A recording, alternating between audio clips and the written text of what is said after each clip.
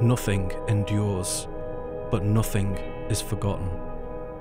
Everything comes and goes, large and small, old, new, majestic, modest.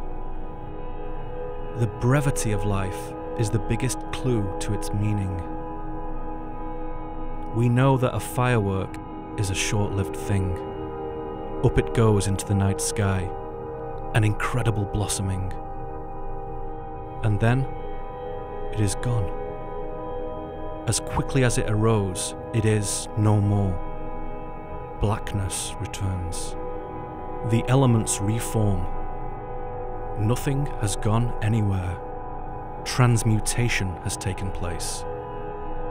If the firework lasted hours, its charm would be lost.